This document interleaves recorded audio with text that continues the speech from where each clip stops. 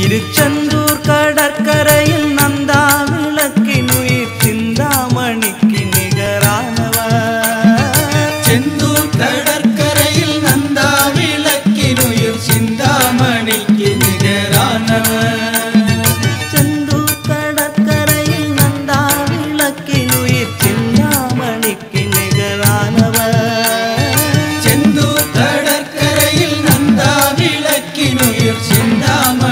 विजय रानव।